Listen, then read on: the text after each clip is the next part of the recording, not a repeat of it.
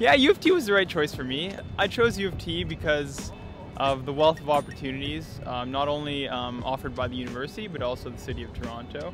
Uh, to get a good job and a degree. Um, well, it's close to home.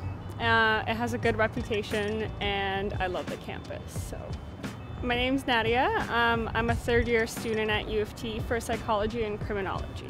So I'm Ben, uh, and I'm in second year medicine here at U of T. My name is Stephen Lee, and I'm in Life Sci, first year.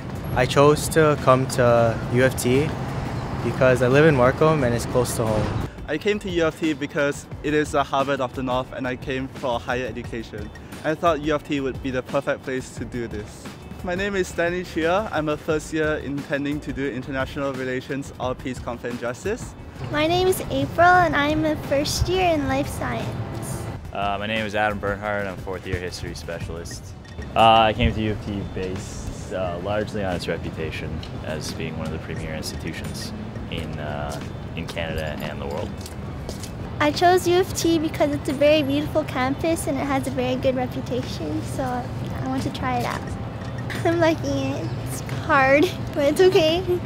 I always planned to go to university following the footsteps of my parents who also went to university in Canada. I kind of always knew that I wanted to do medicine. It's uh, got an amazing faculty, tons of opportunities to get involved in uh, whatever you're interested in. My family isn't from Canada, so it's just something I wanted to, I guess, as a way to pay them back for bringing us here. And uh, New University was for me to kind of uh, get a better job and then I can pay them back for everything that they did for me.